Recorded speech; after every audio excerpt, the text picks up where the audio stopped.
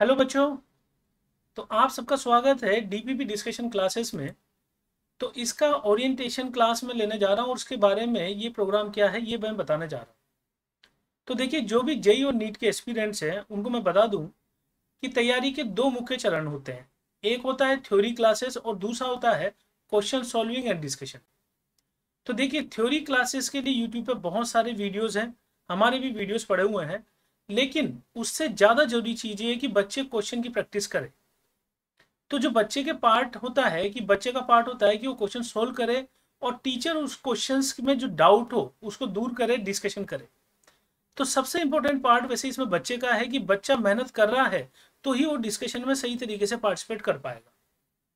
तो यहाँ पे हमने जो पहल की है, ये है ये है कि हम जो कोटा का मॉड्यूल है, जो कोटा का कल्चर है उस कोटा के कल्चर को अब आप सभी लोगों के लिए लाइव लेके आए। कोटा के कल्चर में जो सबसे इंपॉर्टेंट पार्ट होता था, वो होता था कि कोटा का मॉड्यूल जिसमें डीपीपी और शीट हुआ करती थी। और शीट और डीपीपी का डिस्कशन जो है मोस्ट इंपॉर्टेंट पार्ट है तैयारी का। यानी इसमें एक सिंपल कल्चर फॉलो किया जाता है कोटा में कि थ्योरी पढ़ाने के बाद टीचर रेस्पेक्टिव सब्जेक्ट में होमवर्क देता है डीपीपी अलॉटमेंट करता है और वो डीपीपी का डिस्कशन नेक्स्ट क्लास में किया जाता है। अब यहाँ पे जो बच्चा सिंसियर होगा रेगुलर होगा, वो डीपीपी घर पे जाके सोल्व करेगा और अगले दिन आके वो क्वेश्चन पूछेगा। हम चाहते हैं कि सेम कल्चर अब लाइव भी फॉलो किया जाए और कोटा के मॉड्यूल का डिस्कशन लाइव किया जाए। तो हमने जो क्लास यहाँ से स्टार्ट की है, इस क्लास में ज्वाइन करने से पहले मैं आपको बता दूँ कि आपको करना क्या है। तो इस क्लास में जो भी डीपीपी हम डिस्कस करने वाले हैं, वो पहले से ही आपको वीडियो के साथ जो वीडियो का हेडिंग होगा, उसमें लिखा रहेगा। कि topic number and DPP number will be mentioned तो आपको करना क्या है? उस टॉपिक का जितना भी रिलेटेड थ्योरी कंटेंट है, वो आपको करना है, कहीं से भी कर रहे हो आप, ठीक है? किसी भी पोर्टल से कर रहे हो, चाहे ऑफलाइन कर रहे हो या ऑनलाइन कर रहे हो। पहला काम है थ्योरी पार्ट को फिनिश करना, और दूसरा काम है आपका कि जो डीपीपी है, वो कोटा मॉड्यूल की डीपीपी आपको हमारे मोबाइल ऐप न्यूक्लियन कोटा से डाउनलोड करनी है, जो कि फ्री है सब बच्चों के लिए। आप डीपीपी डाउनलोड करेंगे उस डीपीपी का प्रिंट लेंगे, ठीक है ना?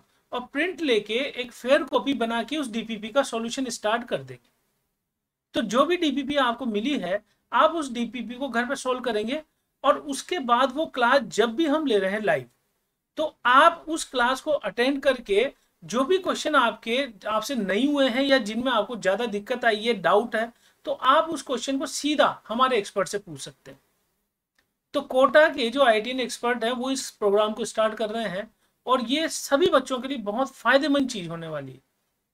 Discussion is more important part तो आपको डिस्कशन को अवॉइड नहीं करना है। ऐसा ना हो कि आप केवल थ्योरी लेक्चर्स में ही उलझे रहे। तो क्वेश्चन सोल्व करना चालू कीजिए। जितना ज़्यादा आप क्वेश्चन सोल्व करेंगे, उतना ही ज़्यादा आपका कॉन्फिडेंस बढ़ने वाला है। तो इस प्रोग्राम में पार्टिसिपेट कीजिए। पूरी रेगुलरिटी के साथ कीजिए। हम बिल्कुल जो क्वेश्चन आप बोलेंगे, वो क्वेश्चन आपको सोल्व करके यहाँ बताएँगे। लेकिन जैसा मैंने बता दिया है, उसके पहले आपको डीपीपी सोल्व करनी है थ्योरी पार्ट फिनिश करना है।